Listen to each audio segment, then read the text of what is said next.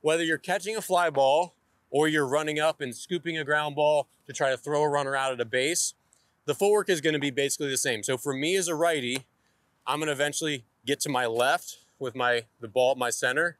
I'm gonna step behind with my right, and it won't be a dramatic step behind like this.